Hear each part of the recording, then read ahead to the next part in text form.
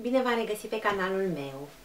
În clipul de astăzi, așa cum uh, probabil deja v-ați, putea, v-ați putut da seama din titlu, uh, o să fac o leapșă, un tag, uh, Sunt frumoasă se numește, l-am primit de la Denisa Sima.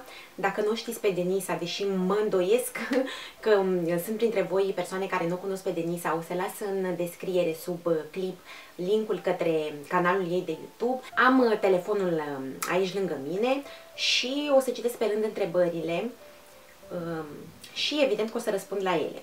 Motivul pentru care sunt nemachiată astăzi, nu am văzut decât două sau trei clipuri uh, din seria asta de uh, lepșe uh, cu Sunt Frumoasă și am văzut că fetele nu erau machiate, așa că mi-a picat la țanc pentru că, să vă spun sincer, astăzi nici nu aveam chef să mă machiez, abia ce m-am trezit de vreo oră. Asta este fața mea dimineața. Cum te numești?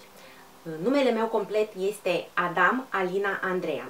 Primul nume este de fapt Alina, deși toate, toată lumea mă strigă Andreea. Sunt foarte, foarte puține persoane care uh, mă strigă Alina și atunci când o fac, o fac mai mult în glumă. Câți ani ai? Am 36 de ani, uh, pe 17 aprilie împlinesc 37 de ani. Ai avut vreodată probleme cu tenul? Uh, trebuie să vă spun că în adolescența mea, din fericire, nu am avut probleme majore cu tenul. Aveam câteva coșuri care mi-aduc aminte că mi ieșeau aici, în zona asta, pe frunte sau pe, pe pomeți, nu am avut niciodată coșuri, ci mai degrabă, uh, ca și adult, uh, am avut uh, coșuri bine răzlețe, nu vă imaginați că am avut acne. Nu eram complexată de ele. Problemele cu tenul, de fapt, au apărut pentru mine ceva mai târziu, atunci când am început să fac pete solare, din cauza că nu am folosit creme cu SPF și am stat mai mult decât era cazul la soare, eu având un ten destul de sensibil din punctul acesta de vedere, pentru că am și pielea foarte albă, am pistrui și um, din acest motiv am petele acestea solare, nu știu dacă puteți să le vedeți pe cameră, sunt destul de vizibile. Asta este um, singura mea problemă majoră, ca să zic așa, cu care tenul meu s-a confruntat. Și încă se mai confruntă, din nefericire. Din ce cauza ai început să te machezi? Um, nu am început să mă machez neapărat dintr-o cauză anume, însă o aveam pe sora mea care era mai mare decât mine cu șapte ani jumate și evident că ea a început să, a început să macheze uh, când eu eram destul de mică Uh, și îmi place foarte mult să mă uit la ea cum se machează și mama mea se machea, mi-aduc aminte că se pregătea să plece la o petrecere sau la o nuntă, stăteam și mă așezam cu fundul pe, uh, pe vasul de toaletă și mă uitam la ea cum se, cum se dădea cu creionul, mi-aduc aminte că se dădea cu un creion verde, uh, mamei mele întotdeauna i-a plăcut să poarte ruj, mi-aduc aminte, mamă, sper să nu te speri pe mine că zic asta, dar e un lucru foarte drăguț. Deci mama mea avea, nu știu dacă mai are acum, dar avea uh, rujuri amplasate strategic prin toată casa și atunci când suna cineva la ușă sau uh, când ieșea undeva, uh, se dădea imediat cu ruj. Uh, tot timpul este dată mama cu ruj, un lucru care mi-a plăcut de altfel foarte mult la ea. Însă sora mea a fost cea care uh, m-a convins uh, să încep să mă machez, avea foarte multe produse de make-up, mai ales când a plecat la facultate, eu eram destul de mică atunci când a plecat la facultate, cred că prin clasa a 5 sau a 6, ceva de genul ăsta și după ce, și atunci când era studentă, a început să-și cumpere foarte multe produse de make-up și mă uitam absolut fascinată de fiecare dată când venea acasă și mi le arăta și cam așa am început eu să mă machez. Ai întâlnit persoane care te-au jignit în legătură cu frumusețea ta fiind machiată sau nemachiată pe internet sau în viața reală? Din nefericire, da. Uh, trebuie să recunosc că mai mult am fost uh, jignită, dacă pot să spun așa, legată de aspectul meu fizic în viața reală decât pe uh, internet. Am avut marele noroc pe internet, uh, lumea a fost destul de drăguță și de deschisă cu mine, nu am fost jignită, deși am blogul de vreo 5-6 ani, am primit foarte, foarte puține comentarii negative. Uh, pe Instagram am primit uh, pentru prima dată săptămâna trecută un comentariu negativ și a fost o adevărată lecție pentru mine, o provocare uh, pentru mine din punct de vedere al reacției mele vis-a-vis -vis de acel comentariu. Uh, în viața reală, da, mi s-a spus de multe ori, uh, ba că am gura mare, ba că am nasul mare, ba că am urechile mari. Și din cauza că lucrurile astea s-au uh, întâmplat destul de devreme în viața mea, în copilărie, m-au afectat destul de mult la vremea respectivă și mi-au creat complexe pe care trebuie să recunosc că mi-a fost destul de dificil să le, să le depășesc. Pe unele dintre ele mărturisesc că nu le-am depășit nici în ziua de astăzi, însă comentariile de pe internet uh, nu le iau niciodată personale. Mă rog, nici cele din viața reală la vârsta asta nu le mai iau personale, pentru că în momentul în care cineva are ceva de comentat legat de aspectul tău fizic uh, și legat de absolut orice uh, ține de persoana ta și este ceva negativ, nu sună neapărat ca o critică, ci este agresiv de-a dreptul, înseamnă că persoana respectivă, din punctul meu de vedere, persoana respectivă trebuie iertată, Uh, dacă nu chiar ajutată, dacă este cineva din anturajul uh, apropiat, pentru că astfel de persoane vă dați seama că nu sunt tocmai uh, fericite cu ele însele. Și știu și mărturisesc și știu și eu cum sunt atunci când am perioade mai proaste, că sunt deprimate, că devin destul de răutăcioasă, nu doar cu cei din jurul meu, ci și cu mine și încerc pe cât posibil să-mi controlez aceste manifestări și aceste ieșiri Însă atunci când văd de la alții, uh, fac o paralelă între ceea ce trăiesc alții și ceea ce trăiesc eu și îmi dau seama că persoanele respective nu trebuie judecate, trebuie iertate uh, și acceptate așa cum sunt, pentru că nimeni nu este perfect pe lumea asta. Uh, referitor la comentariul negativ pe care le-am primit săptămâna trecută pe Instagram, deci leapșa asta îmi dă mie acum oportunitatea să vorbesc foarte mult, lucru care mi îmi place, în caz că n-ați observat până acum, îmi place foarte mult. Uh, și revenind la comentariul pe Instagram, de pe Instagram pe care l-am primit săptămâna trecută, suna ceva de genul, era în engleză, deși din câte am văzut era de la o fată din România. Ideea era că îmi spunea pe față gen că sunt grasă. Uh, și a fost pentru mine o lecție, pentru că eu știu foarte bine că în ultimele luni m-am îngrășat, m-am îngrășat vreo 5 kg, nu sunt absolut de, deloc fericită de acest aspect, însă s-au produs niște schimbări în viața mea Uh, care au avut ca rezultat această luare în greutate. Eu întotdeauna m-am confruntat uh, cu probleme de greutate, ori am fost foarte slabă, ori am fost uh, ceva mai plinuță. Așadar, pentru mine asta a fost o bătălie, bătălia cu kilogramele o am de când mă știu pe lumea asta, inclusiv de când eram foarte, foarte mică. Uh, și la început, prima mea reacție a fost, uh, evident, m-am simțit uh, rănită, cum un străin pe, care nu-mi cunoaște viața, nu mă știe pe mine ca om, ca persoană, poate să-mi lase un astfel de comentariu. Primul răspuns pe care mi-a venit să-l dau a fost destul de agresiv. După aceea m-am calmat, am închis, am închis Instagramul și am stat după aceea și m-am gândit și am zis că băi, este cazul să fiu sinceră cu mine. Ce a încercat persoana asta să-mi, să transmită? Indiferent de problemele pe care le are și neacceptările cu ea însă și pe care le are persoana respectivă, m-am gândit la mine și am zis că da, știu că m-am îngrășat în ultima perioadă, persoana respectivă are dreptate, chiar dacă a spus-o pe un, un ton agresiv și ne la locul lui din punctul meu de vedere, persoana respectivă are dreptate, m-am îngrășat și știu că trebuie să fac ceva în privința asta, uh, mai ales din punct de vedere al sănătății uh, și am răspuns pur și simplu că da, știu că m-am îngrășat și că mă ocup de asta și m-am simțit după aceea foarte, foarte, foarte liniștită cu mine însă și vis-a-vis -vis de persoana care mi-a lăsat comentariul respectiv și sper din suflet ca din comentariul pe care l-am lăsat ca răspuns să fi învățat ceva. Următoarea întrebare era dacă da, cum a reacționat, te-au afectat acestea.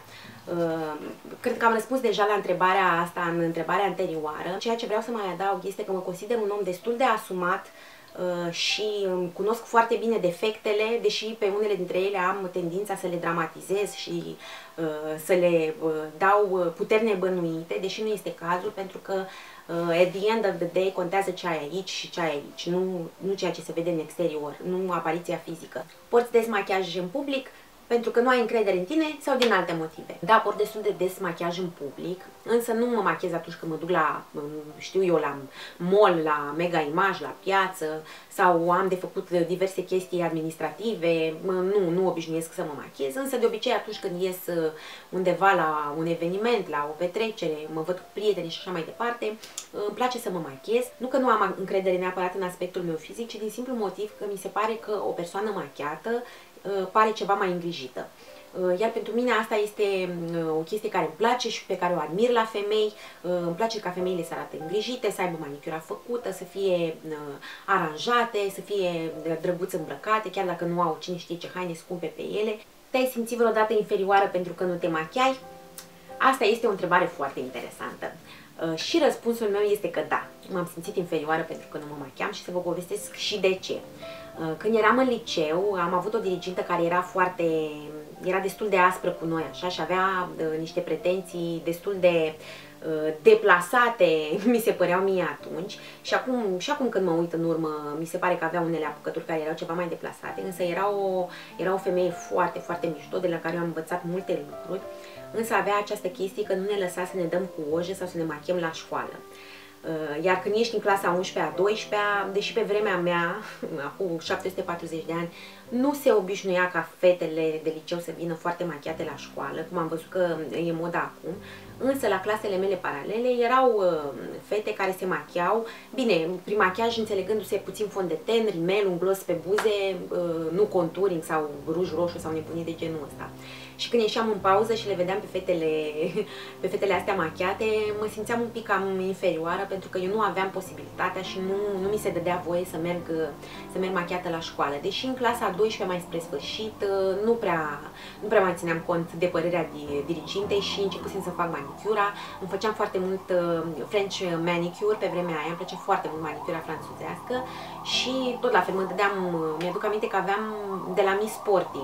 Eu cred că cu produsele de la Miss Sporty am început. Aveam fond de ten și pudră de la Miss Sporty și cred că și rimel. Aveam un rimel albastru de la Miss Sporty. Și ultima întrebare este ce sfat le dai oamenilor care te urmăresc și poate se simt inferior că nu poartă machiaj? Ei bine, mi-a intrat ceva în ochi și mă mănâncă ochiul ăsta, așa că dacă va fi roșu, să știți de la ce. Așa, uh, revenind, ce sfat le dau oamenilor care se simt inferior că nu se machează? Cred că ăsta este ultimul lucru care ar trebui să conteze în viața voastră, faptul că nu vă machiați și alții se machează. Uh, sincer vă spun, ceea ce expunem în exterior este doar o mică, mică parte din ceea ce suntem noi cu adevărat. Din punctul meu de vedere, cel mai important lucru și cea mai mare realizare pe care un om Uh, o poate avea în viața asta este uh, iubirea și acceptarea de sine. Teoretic sună foarte ușor, însă uh, la nivel practic este foarte dificil pentru că cred că atunci când te accepti și te iubești pe tine așa cum ești, reușești să-i accepti și pe cei din jurul tău și să le accepti absolut toate defectele pentru că nimeni nu este perfect, toți le avem pe ale noastre, Deși mi se pare că toate cuvintele astea pe care vi le spun sună cumva banal și clișeistic, și probabil că așa mi s-ar fi părut și mie la 20 de ani, că sunt niște bullshit dar credeți-mă că viața m-a pus în niște posturi și niște, uh, mi-a oferit niște experiențe care, uh, care m-au făcut să-mi schimb percepția asupra uh, mea și asupra oamenilor din jurul meu. Nu mi se pare că fizicul ne, de, ne definește în totalitate, cu atât mai puțin machiajul.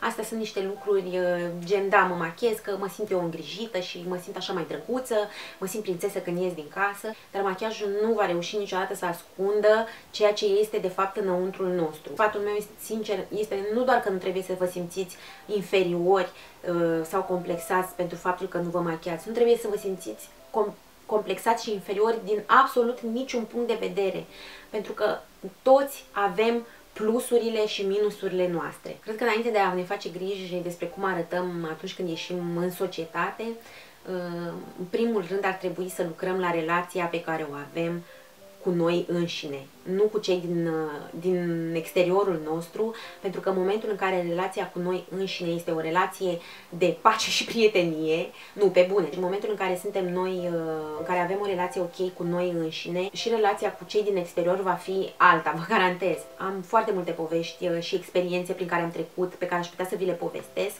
însă nu cred că e cazul să o fac acum. Unul dintre lucrurile pe care le-am învățat și din păcate le-am învățat destul de recent, mi-aș fi dorit uh, să știu lucrurile astea poate când aveam 20 de ani, însă am învățat că în momentul în care am început să caut mai mult în interiorul meu și să scol la suprafață niște sentimente reprimate și să lucrez cu ele și să construiesc pe ele și să mă construiesc până la urmă pe mine ca om și relația cu oamenii din jurul meu s-a schimbat complet. Și pe final, uh, sfatul pe care vreau să vi-l dau de fapt am două sfaturi, trei sfaturi să vă dau.